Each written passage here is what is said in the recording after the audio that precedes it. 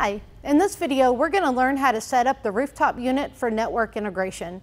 Our example is going to be BACnet MSTP. For BACnet MSTP, you will connect your wiring to this location on the core controller. If you were doing BACnet IP, you would connect your wiring to a different location, which is here. First, we must pair to the rooftop unit.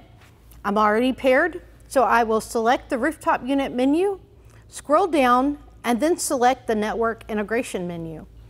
From Network Integration, I'm going to select the Network Setup Wizard, and then I'm going to select BACnet MSTP.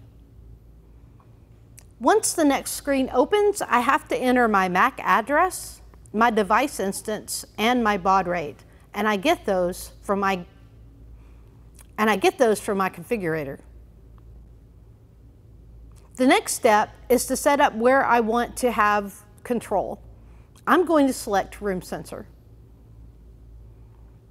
The next step is what kind of a room sensor. Is it local, network, or S-bus? For this example, I'm going to select local.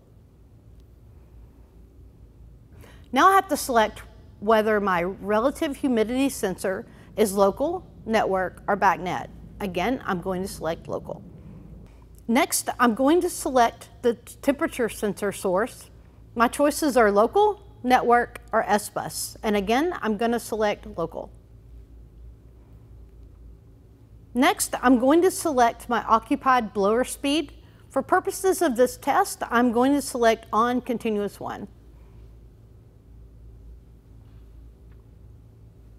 Next, I have to select my backup mode. What do I want to happen if the building management system were to fail? I'm going to select return air backup. My next selections are what set points do I want for heating and cooling during my return, during backup operation. And that's it. The next screen is a summary. Press next to see all of your selections and then once you get to the last summary screen, press finish and you're done.